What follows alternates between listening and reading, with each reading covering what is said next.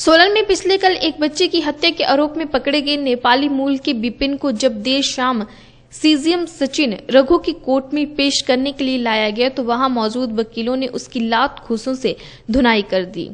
Police आरोपी को जैसे ही पुलिस जीप से नीचे उतारा, तभी गुस्साए अधिवक्ता आरोपी पर टूट पड़े। हालाँकि पुलिस ने उसे बचाने की कोशिश की, लेकिन वकील इतने गुस्से में थे कि पुलिस की मौजूदगी में भी आरोपी को धुन दिया।